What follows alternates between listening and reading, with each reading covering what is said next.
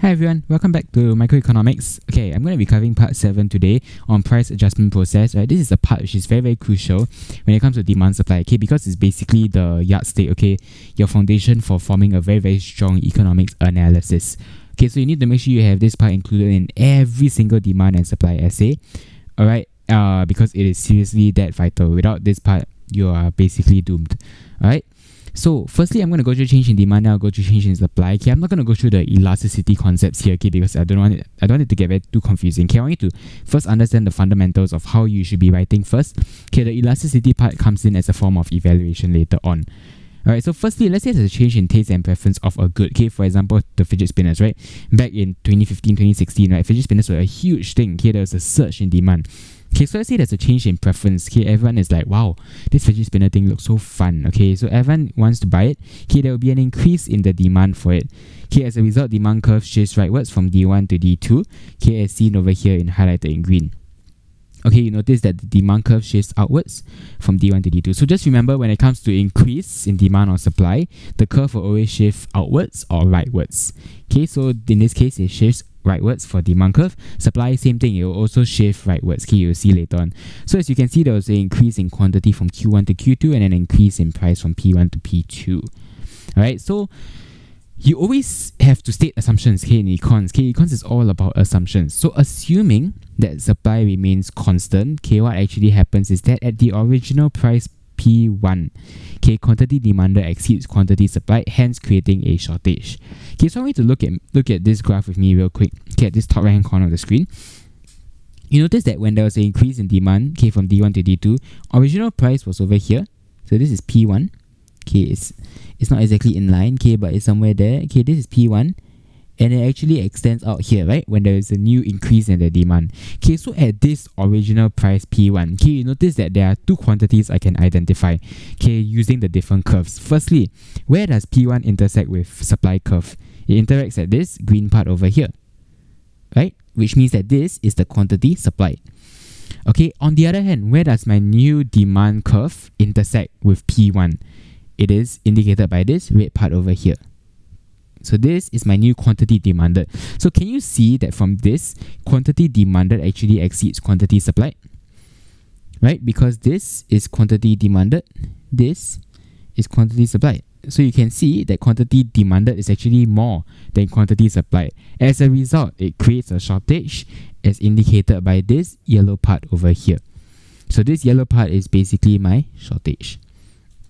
Alright, so as a result of this shortage, okay, consumers will apply an upward pressure on prices. Okay, this is the reason why prices actually increase.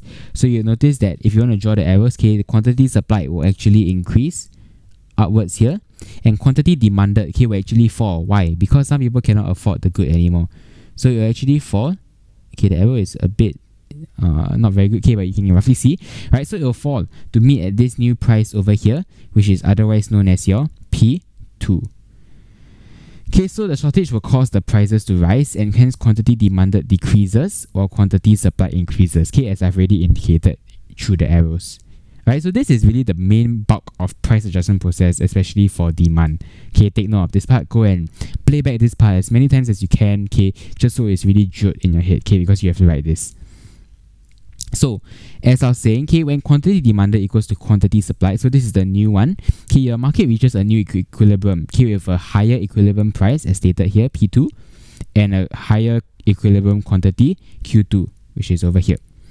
Okay, so this is the new higher equilibrium quantity and the higher equilibrium um, price, okay, that the market has reached as a result of the price mechanism. Okay, this is the price adjustment process. Okay, so conversely, when there is a fall in demand, same thing, a surplus will occur, and hence there will be a fall in the equilibrium price and the quantity. So it's just essentially moving the curve backwards. Okay, that is what happens when there is a fall in demand. Okay, so just take note of this, right? So this is change in demand, very, very simple. Okay, next we want to change in supply. Let's say there is a change in technology. Okay, technology has advanced over the years, right? It's getting better and better. So there is an increase in supply as a result, okay, because of higher productivity, higher efficiency. Okay, the supply curve will shift rightwards from S1 to S2. Same thing. Okay, price and quantity will change. In this case, price drops, quantity will rise. But notice that my curve shifted outwards from S1 to S2 this way. Alright, so just take note, rightwards as well when supply increases. Okay, now we go back to our diagram again. Okay, same thing.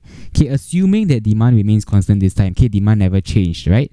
So assuming demand remains constant at the original price P1, quantity supplied will now be more than quantity demanded. Hence, it creates a surplus. Okay, this one is a no-brainer, right? When quantity supplied is more than demand, it creates a surplus, no doubt. Okay, so as you can see over here, okay, at original price P1, okay, you draw a line out, okay, P1, okay, there are two different quantities over here. So basically the supply one is your quantity supply over here. And then quantity demanded is the one that it intersects with the demand curve. Quantity demanded over here. Okay, so this is likewise, K quantity supplied is more than a quantity demanded. Okay, so it creates a surplus. Okay, so likewise, producers are willing to accept a lower price to clear the surplus. Okay, all producers want to clear the surplus. Okay, and hence quantity demanded will increase while your quantity supplied will um, decrease instead. Okay, so likewise, they will move downwards here. Okay, to actually intersect at this new equilibrium price P2. Alright, so moving on, okay, we have got when quantity demanded equals to quantity supplied. Okay, what happens is that the market will reach a, oops, sorry about that, market reaches a new equilibrium, okay, with a lower equilibrium price and higher equilibrium quantity. Okay, so this is the price mechanism working once again, right? Whereby you notice that the price has actually fallen the quantity has actually increased okay as a result. So this one is always what happens okay when there's a when there's an increase in supply okay your price will usually fall. Why? Because the producers are willing to accept lower price to clear the surplus okay. But at the same time the quantity has increased because the quantity supplied in the market has actually increased. So the overall quantity the equilibrium quantity in the whole market has increased so conversely, when there is a fall in supply, okay, definitely there will be a shortage. Okay, producers are un unable to produce enough. Okay, and hence there will be a rise in equilibrium price and a fall in quantity. So it will be the opposite. Alright, so what happens, okay, if there's a change in both demand and supply?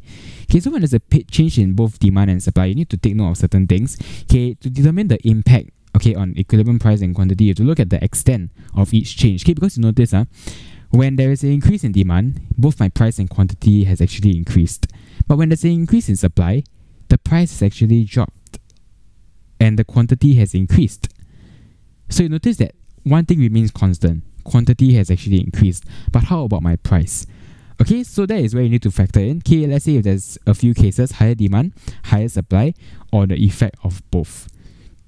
Okay, so when there's a higher demand, okay, more than the supply, okay, let's say increases more than supply, uh, we're looking at we're stating assumption here. Okay, in reality, um demand could be rising, supply could be falling. Okay, you have to look at the context of the question. Okay, over here I'm giving you hypothetical simple examples. Okay, if equilibrium quantity increases, your equilibrium price will also increase. Correct? So we're all certain on this, right? But let's say if there's a higher supply more than the demand, equilibrium quantity increases, equilibrium price will decrease. So you notice that overall, okay, if you combine these two, okay, increase in higher demand, higher supply, that means increase in demand, increase in supply, okay, both of them will result in an equilibrium quantity increasing, but the equilibrium price will actually remain uncertain.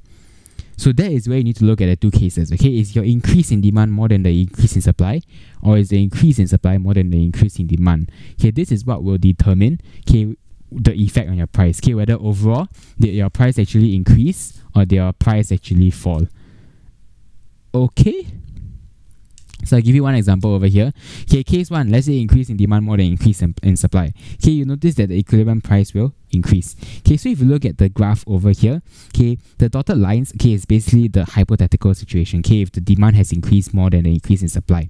Okay, so notice that both of them actually shift rightwards. Okay, supply increases, demand also increases. But if you notice, okay, the original price and quantity was over here. Okay, I will highlight over here in blue. Okay, this is the original price. This is the original quantity. Okay, assuming at the new demand and the new supply. So you just ignore the previous two. Look at the, the two new ones. I will highlight in red over here.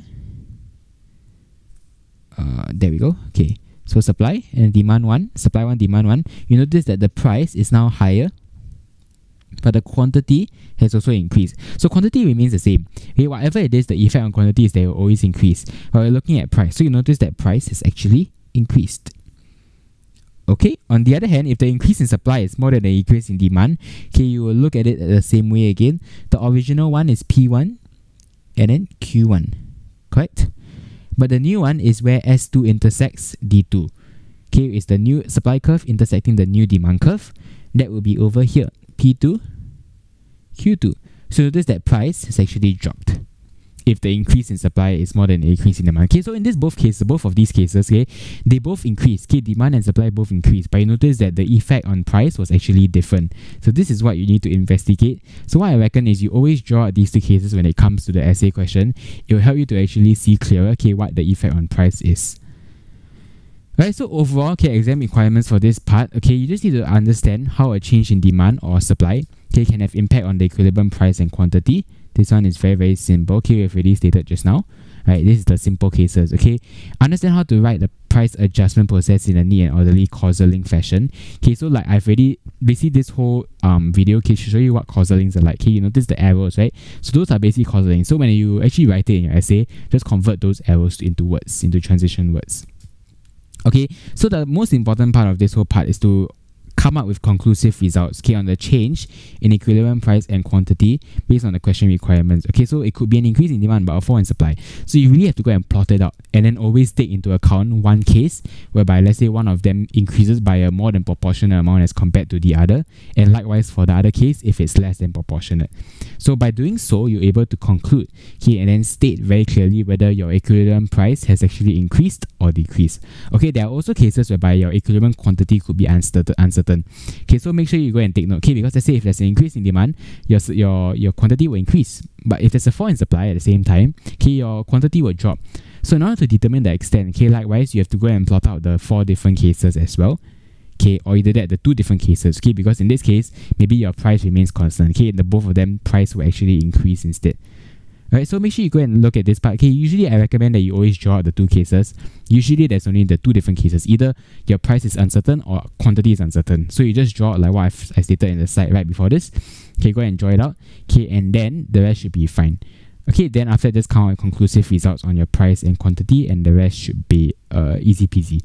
Okay, so if not, if you did enjoy this video, okay, be sure to give it a thumbs up. Okay, if you need more help, okay, leave a question in the comment section. Okay, I'll try and answer them as quickly as possible. Okay, just leave a like on this video. It really does help me out a lot. Okay, in the next few videos to come, I'll see if I can cover more on graphs, okay, as well as your price elasticity, which will also have an effect, okay, on the extent, okay, to which quantity or price may have increased or decreased. Alright, so if you did enjoy this video, okay, um, uh, be sure to stay tuned for more okay because there will be more coming up okay uh, such as your impacts your strategies your policies okay when it comes to your demand and supply part of the syllabus. Okay so if not i'll see you guys in the next one. Till then peace out